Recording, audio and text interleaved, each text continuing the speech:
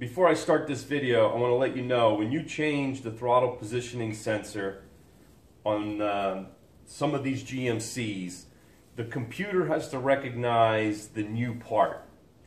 And I, I just wanted you to know that your idle might be sporadic. So in other words, your idle might go high and uh, your RPMs are going to be high and then they're going to drop low. There's a, there's a whole system that you need to go through if that happens. And I printed it out right here um, on this sheet of paper. I'm going to put this in there. Uh, here's a little close-up of it. So I'm going to put that in there in the beginning of the video and then I'm going to show a close-up of it at the end of the video. So before I start this project, I just want you to know that you might have a problem where your idle is erratic, but you can fix it without taking it to the dealer or taking it to your local automotive shop to clear your computer. So just be aware that that might need to be done. Don't panic, you can do it. Um, and I'm gonna put the instructions in the back of the video as well.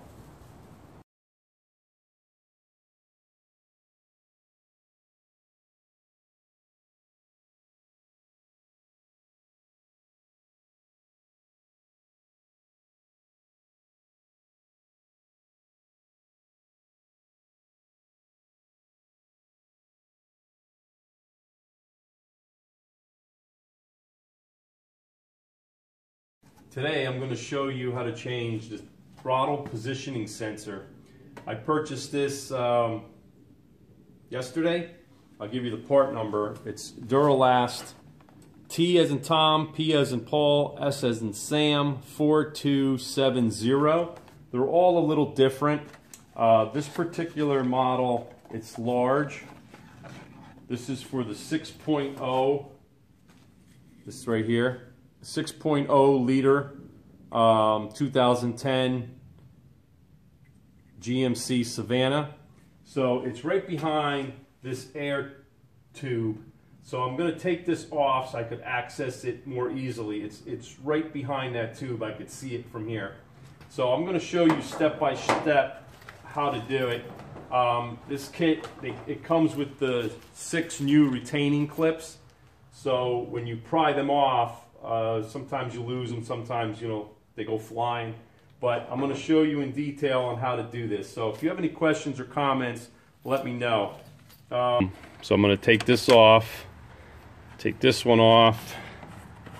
And what I ended up doing is loosening up this wire. You have to pull the lock out, so this makes it easier to remove it. So you have to pull this white thing out. There's a little clip that you have to push and then you could pull this out. So that's removed from the wiring harness so I could uh, easily take it out. So we put that there.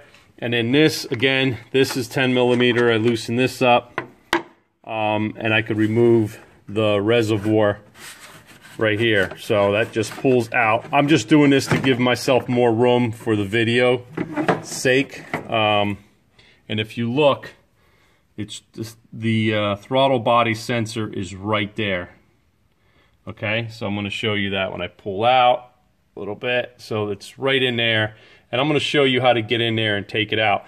Um, I removed the hose clamp that's down. Oops, sorry about that.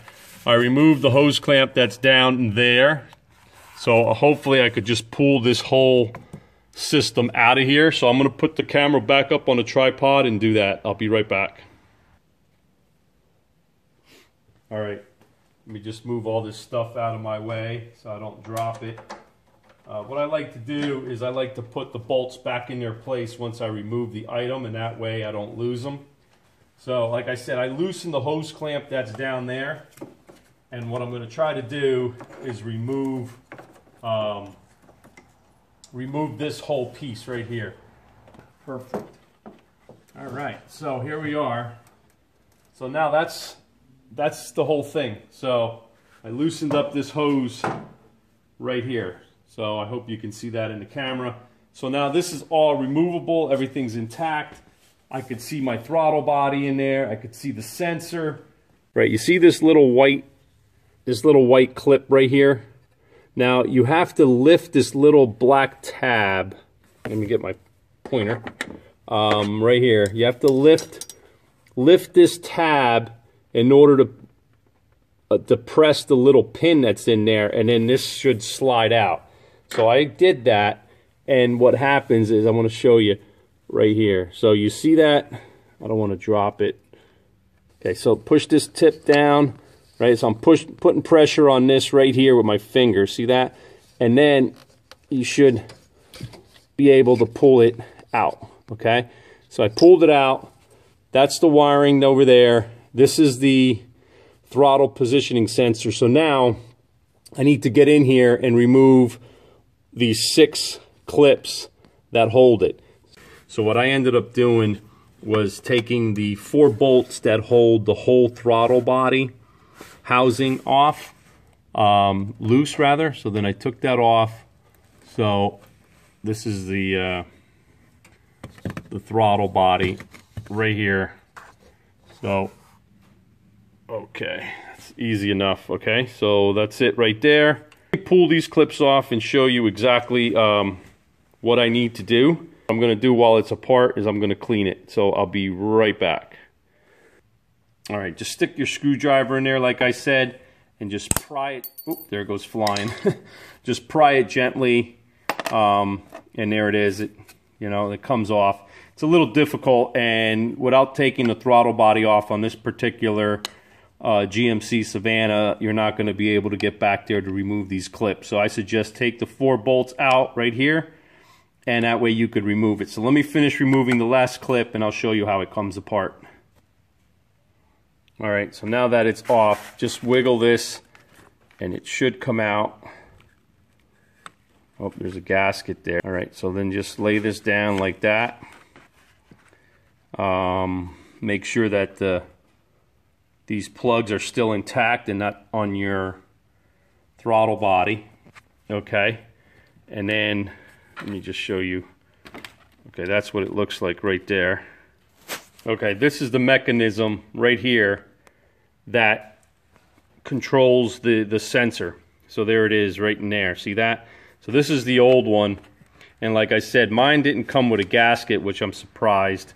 Um, or did it? Oh yes, the new one did come with a gasket. This is the new one. And this is the old one right there. So Actually, so uh, let me take this gasket off right here. Okay, take the gasket off. And uh, I'm just going to leave it the way it is, just like that. I'm going to turn it over, make sure nothing falls out here. Put my fin my finger on the, the gear. Um, give it a tap, little tap, make sure no, any corrosion comes out of there. All right, so then that looks good. Everything looks good. Um, put the new one on. Looks like it's in the same position. So I'm just going to put the new one on. Sorry about that. Put the new one on gently. Um, hopefully that lines up. Feels like it lined up. And uh, I'm going to need two hands for this. So I am going to put the clips on and I'll be right back. I put all the clips on, so they're all done.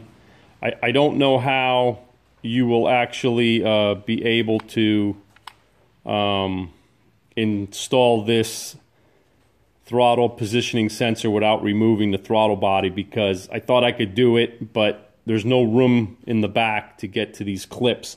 So I put them all in, and I'm going to show you exactly how I did it. Um, it's very easy. So put the clip in, See, they have some teeth on the side here. See that? So you put it on like this. Um, hold it. I don't want to drop it. Uh, put it on there. And then what you end up doing is take your rubber mallet. I have a big one. So you take a small rubber mallet and just tap. Because this is aluminum casting and you don't want to crack it. So it's very easy. You're not beating yourself up. You're not using a hard hammer put it on one side, tap it on the other, and you're done. Like I said, I got to clean this up before I put it back together. Let me reverse my steps. This is all clean now. Um, I just cleaned the inside, got rid of the carbon. I didn't clean the outside. So let's put it back together. Right. So now what I'm going to do is plug in the plug. Okay, this is the plug. Um, so just line everything up, push it in gently. You should feel a little click, so you know it's all the way in. And don't forget to install your your lock right here. So that goes in um, a certain way. So make sure it goes in the proper way. I, it's kind of hard to show you on camera, but uh, make sure that goes in the right way. And the way you know, if you push it in, you should hear a click. Okay? Hopefully you heard that. So that locks it in. So Okay, let's put the um, air cleaner shroud back on.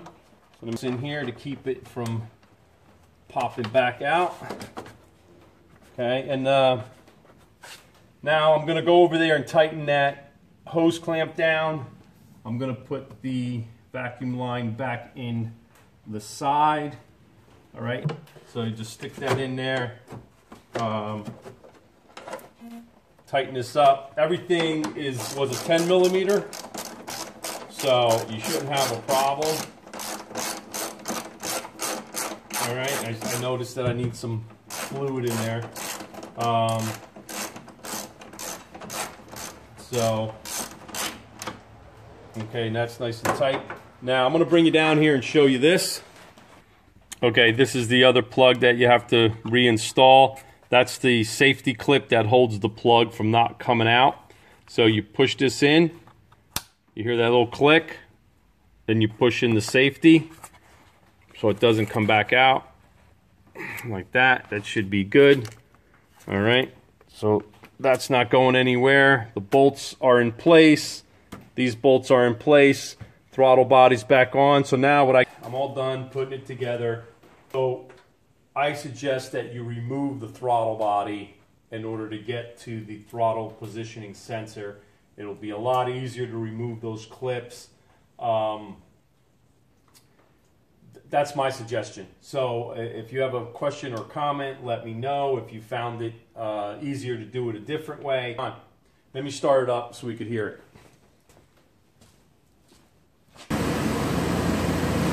Okay, it sounds good. Um, everything's working properly. So if you have any questions or comments, let me know. Thanks for watching.